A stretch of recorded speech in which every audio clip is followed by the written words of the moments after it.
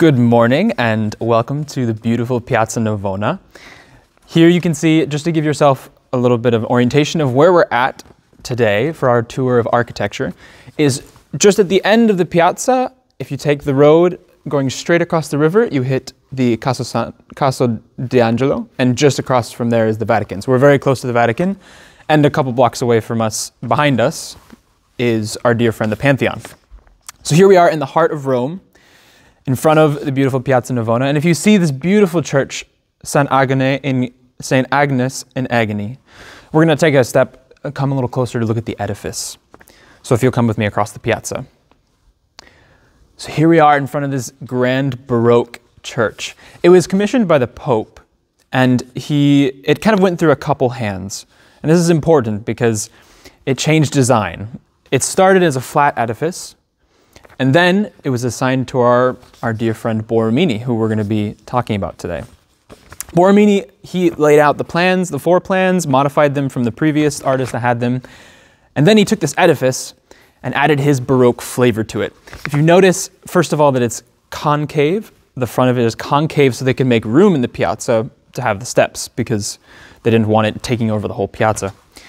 So the steps coming down in this concave shape, and if you notice the front, these two towers, on either side, they have this inward and outward curvature, this changing of, of shape, almost as though the building's a little bit wavy, like it's moving just a bit. This is key to Baroque architecture. So Borromini, he constructed just this first, all the way up until the railing, where you see that railing. The top two parts of the towers were designed by someone else because the Pope died and the next pope wasn't too interested in the project, and Borromini, well, he got disappointed. And so he gave up, he resigned. So this is just a taste of what Borromini can do with architecture. And I want to head over to our next, to another church, the Chiesa di San Carlino.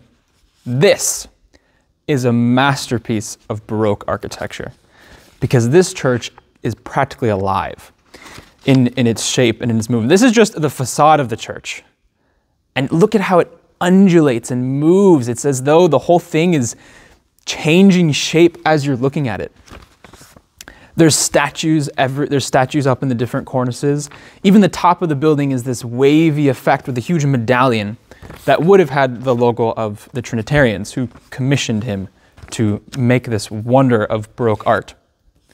One thing I want you to notice here is just how small. This is the front of the church.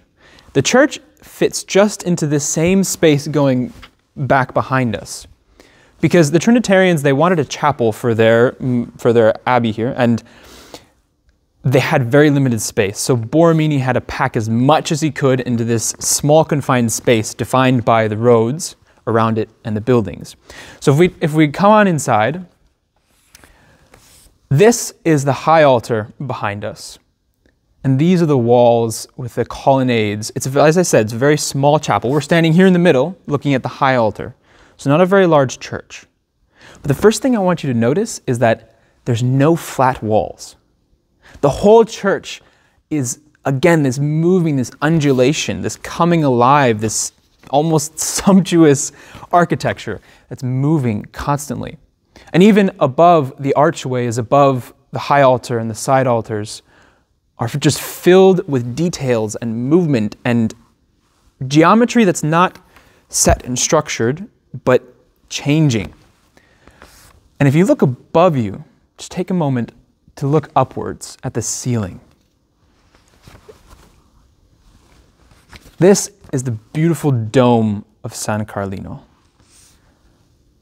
This shape first of all, is an extreme work of geometry because the dome isn't even circular, it's an oblong. And everything in it is moving. Everything is moving. And the keystone, the key, or the cherry on top of the cake, if you want to say, of this church is right there in the center as you're looking up. Because it looks like there's light coming out of the Holy Spirit who's descending into the church this break into heaven almost, that's very simple, but masterfully achieved, is because Borromini designed it so that you can't see the windows that are there. But all that light is all natural, and it's coming in from these windows that are below that Holy Spirit. And they shine in, and the Holy Spirit's light just floods into the chapel, and it gives you a sense that the Holy Spirit is descending upon you in the liturgy of the Mass. I recommend that you take a couple moments in this chapel just to absorb the living presence of the Lord here because everything is moving, is full of beauty, and just, and just lifts your soul up to God in that way. And if you want on your way out, you'll notice that they have a, a map scheme of the church. And I recommend you take a look at this because this is just how tightly packed Borromini was able to masterfully put so much beauty and baroqueness into this one beautiful church.